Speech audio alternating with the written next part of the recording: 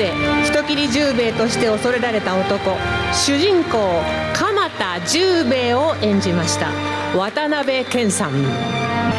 十兵衛をとことん追い詰める町の支配者。大石一蔵を演じました。佐藤浩一さん。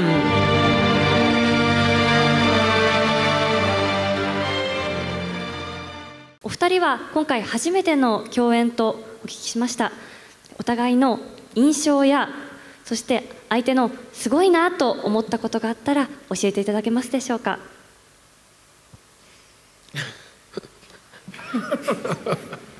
佐藤さん行きましょうか。そんなこと照れくさくて言えるわけないじゃないですか。やはり渡辺謙さんは現場でも常に威風堂々とやっぱりこう座長として全て自分インクルーディングするっていうか全て受け入れるというなんかそこら辺のなんかこう度量というかね。それが僕には全くないもんですから、えー、そこら辺で、まあ、す素晴らしいな。ここんなんでいい？こういうとてもあのなんていうんですかアプローチの難しい作品で、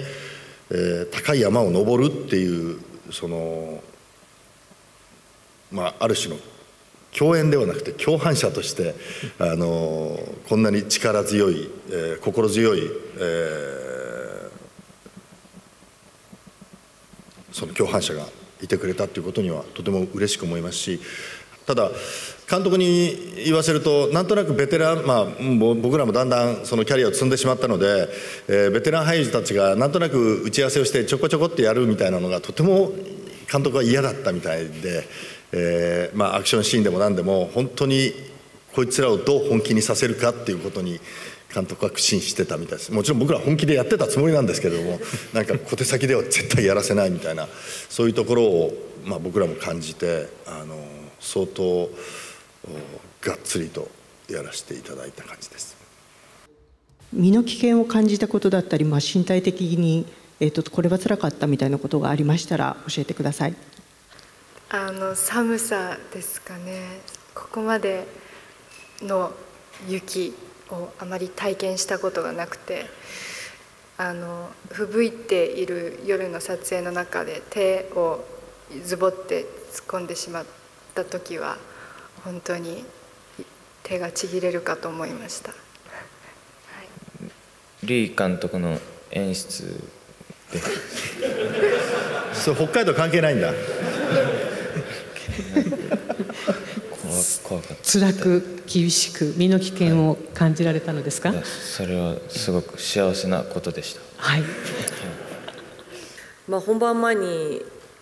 まあ、暖は取らせてもらってはいたんですがやはりこう現場に立った時に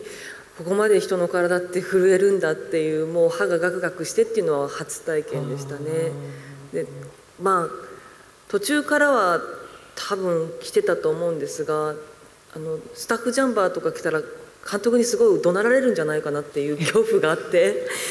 そんなんで気持ち入んのかって怒られたらどうしようと思いながら初めの方はちょっと我慢して頑張って何も着ないで立ってはみたんですがでもやっぱり耐えられなくてこれで風邪ひいたら元も子もないと思いながらやらせていただきましたが、うん、やっぱり寒さですかね。はい。監督もやっぱり同じように薄着をなさって現場ではあのダウンジャケットを重ね着。すいません。なんだか。零下十何度のところにあの僕とそっくりなあの死体の人形を作ったんですけども現場に行ったら監督が「江本さん死体のメイクをしてください」と。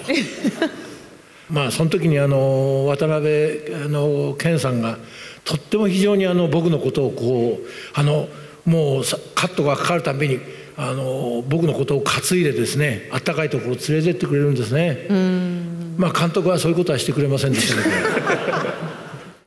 あの僕の場合はですね自分の身の危険というよりは人の身を危険にさらすというシーンが多々ありまして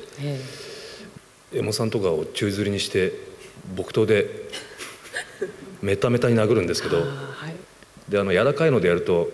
柔らかいさと当てるとやっぱりしなっちゃうんですね。うん、でそのしなることをこちらの方が嫌だと。嫌で。しならないためにはどうするかと鉄の芯が入ってるやつで周りはちょそそれをこうくるんであるんですけどそれでやってくれないかとおっしゃられてサポーターの膝当てを一箇所に貼って背中なんでそこを徹底的に叩くんですけど映画を見たらそのシーンはカットでした。でも相当的確なヒットだったみたいですよ。ええ、もう何回やってもそこに綺麗にヒットするんで。本当ゴルフやっててあれは良かったな。うわ渡辺謙さん佐藤浩一さん江本明さん柳楽優弥さん忽那しおりさん小池栄子さん李三イル監督でした。